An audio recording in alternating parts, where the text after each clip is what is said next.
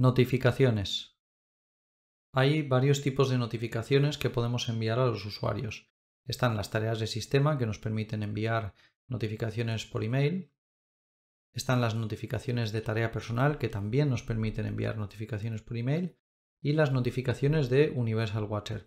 No voy a entrar en detalle porque estos son opciones que aprendemos a lo largo del curso. Simplemente como resumen tenemos aquí cuándo se envía cada uno, quién lo recibe, qué datos se pueden transmitir y si requiere conexión para ver esos datos. Entonces, bueno, aquí tenemos todas las opciones y vamos a comentar ahora algunas buenas prácticas a la hora de diseñar emails. El diseño de todos los emails deberían tener la, misma imagen corporativa que el resto de, los diseños que estemos creando, ya sean documentos, formularios, páginas, etc. El tema es uno de los aspectos más importantes en un email, entonces si es necesario los deberíamos personalizar. Esta opción es posible incluso automatizarla gracias a que en los emails podemos incluir campos de panel como tema del email. De esta forma eh, no tienen por qué salir los emails siempre con el mismo tema. Luego están las imágenes que utilizamos, deberían tener una resolución correcta. Nunca deberíamos estirar las imágenes ni utilizar imágenes pixeladas.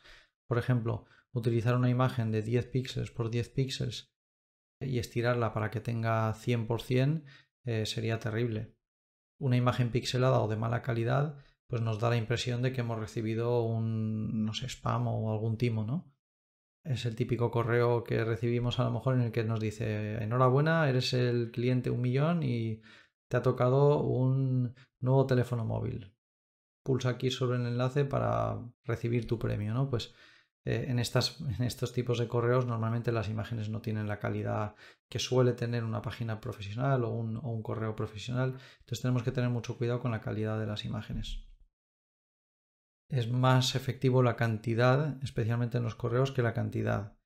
No tenemos que enviar emails largos con muchísimo texto y muchísimo menos enviar emails todo el rato. Eso no le gusta a nadie, nadie quiere que le bombarden. Entonces es muy importante tener mucho cuidado a la hora de enviar correos en un proceso, porque tenemos que darnos cuenta que estos son procesos automatizados que podrían estar enviando muchos correos, si es que es un proceso que se ejecuta muchas veces, y esto puede ser muy molesto para, los usuarios. Cada vez que abres tu correo, recibir un montón de eh, emails de la, bueno, de la misma empresa y con unas instrucciones similares o lo que sea, es muy molesto. Entonces hay que analizar la forma de enviar o de informar a los usuarios para que solamente se haga esto cuando es estrictamente necesario. Tenemos que vigilar los envíos y asegurarnos de que llegan bien, de que nos están enviando al spam. Entonces, aparte de no enviar muchos, que esto es uno de los motivos importantes por los que los servidores de correo automáticamente lo categorizan como spam, es importante hacer pruebas. Y si hacemos pruebas y vemos que está yendo al spam, pues a indagar y ver qué podemos hacer para mejorar nuestro correo y que no caiga siempre en el spam. Tenemos que intentar ofrecer un trato personal en los emails y no usar correos como no me contestes arroba el nombre de tu empresa.com. Eso es muy molesto y bueno, pues da la impresión de que toma, te suelto esto y ya te apañarás con ello. No te voy a ayudar ni te voy a permitir contestarme ni nada. Eso es una mala experiencia de usuario y normalmente vamos a intentar evitar crear este tipo de correos o poner este tipo de información en los pies de los correos. Es muy conveniente utilizar infografías, es decir, información visual en los correos, de forma que el usuario de un simple vistazo pueda saber lo que hay en ese correo o, bueno, saber a, qué está dirigido o qué, qué es lo que, cuáles son las intenciones de ese correo. También es interesante realizar muchas pruebas antes de empezar a enviar emails a todos los usuarios, entonces, cuando implementamos un proceso, si hay una notificación, deberíamos hacer pruebas, asegurarnos de que recibimos bien este correo desde nuestro Outlook, desde un Gmail, es decir, desde distintas aplicaciones para que, bueno, si hay que hacer alguna corrección, nos demos cuenta nosotros y no el usuario final, que es el que va a recibir finalmente el correo y podría llevarse una muy mala imagen si recibe un correo mal diseñado. Voy a mostraros algunos ejemplos para diseñar mejor los correos. También, bueno, os mostraré alguna página web con más información o buenas prácticas que podéis encontrar en Internet. Aquí tenemos una página web interesante eh, en el que bueno, vemos un montón de consejos para crear mejores correos. Por ejemplo, cómo crear los contenidos, cómo utilizar plantillas, cómo diseñar la identidad, qué colores utilizar, qué imágenes utilizar, cómo mm, distribuir la información a lo largo de nuestro correo. Entonces, al igual que tenemos buenas prácticas para formularios o para documentos, también podéis encontrar en Internet muchísima información sobre buenas prácticas a la hora de, diseñar vuestros correos. También podremos encontrar muchísimas plantillas.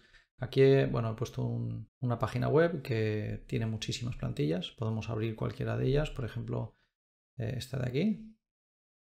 Entonces lo único que tenemos que hacer es ver el código de la plantilla y una vez que tenemos el código lo pegamos en la plataforma, en la configuración de nuestro email y podemos empezar a utilizar esta plantilla.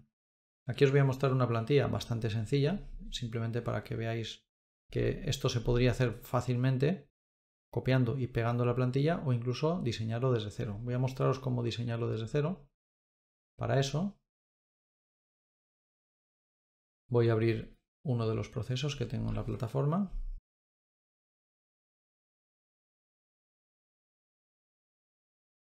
y voy a entrar, por ejemplo, aquí a esta tarea personal y vamos a configurarlo para que vaya a un ejecutor que va a ser el autor del mensaje de inicio. Y además aquí vamos a indicar que queremos enviar el correo por email y vamos a empezar a diseñar nuestro email. Entonces, vamos a poner un asunto, podemos poner manual, prueba.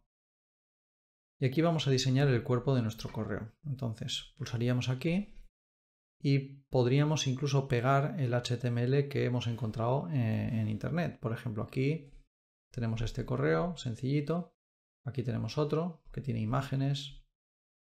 Entonces, ¿qué haríamos? Simplemente aquí seleccionamos todo, le damos aquí a copiar y volvemos a la aplicación, entramos en fuente HTML y pegamos la plantilla.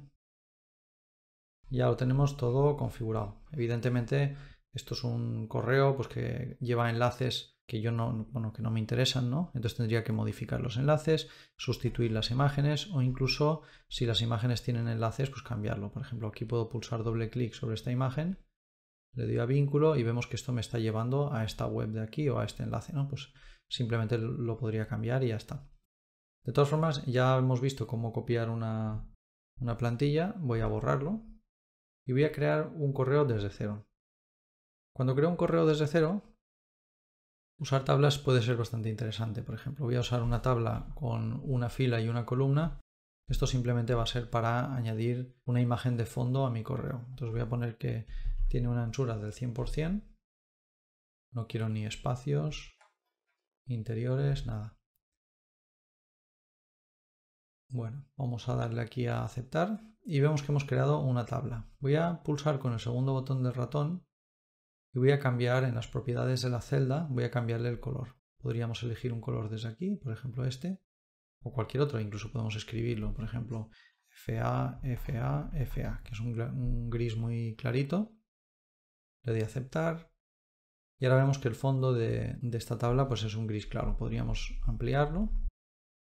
Y dentro podemos incluso añadir otra tabla. Voy a añadir una tabla que va a tener tres, bueno, tres filas, una sola columna y va a ocupar unos 600 píxeles, o bueno, 500 está bien, 500 píxeles y la alineación va a, ser, va a ser centrada. No quiero espaciado, o bueno, vamos a poner un espaciado 0, un espacio interior de 10 y un tamaño de borde 0.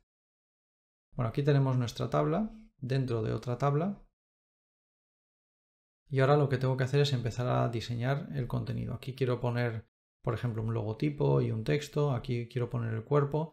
Aquí quiero crear un pie. Pues vamos a hacer una cosa. Vamos a entrar a las propiedades de esta celda.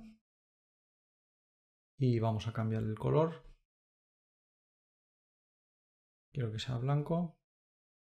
Este espacio también quiero que sea blanco. Como podemos ver aquí, no hace falta saber HTML ni CSS para diseñar un email, simplemente con las propias opciones que tiene este editor podemos diseñar nuestro correo. Aquí voy a elegir un gris oscuro, este por ejemplo. Y aquí simplemente voy a empezar a añadir los contenidos. Voy a agregar una tabla aquí dentro, porque quiero dividir este espacio en dos. Un espacio para el nombre o el título del formulario y otro espacio para el logo. Entonces pulsaré aquí, pondré que solo quiero una fila, dos columnas, ancho voy a poner 100%, es decir, que se adapte al ancho que tiene la tabla exterior. No quiero ni espaciados ni nada más. Vale, si está bien, Aquí dentro voy a introducir un texto, por ejemplo, nombre, nombre del email o título del email. Y aquí vamos a añadir un logo. Por lo tanto, me vengo aquí a la galería de imágenes y vamos a seleccionar un logo. Por ejemplo, este. Tenemos el logo, si queremos cambiar la alineación la cambiamos. Si queremos cambiar el texto, pues podemos hacerlo de otro color, por ejemplo. Y si queremos cambiar el tamaño o incluso la fuente. Bueno y aquí pondríamos el cuerpo de nuestro correo por ejemplo. Hola esto es un email de ejemplo.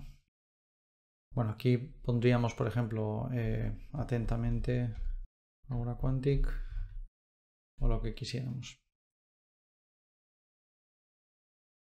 Aquí, claro, el texto lo tenemos que contrastar, tenemos que hacer que aparezca en un color que sea legible, podemos indicar los tamaños. Aquí incluso podemos poner un enlace a la tarea. Entro a fuentes de datos, pulso tarea y esto se convertiría en un enlace para acceder a la tarea.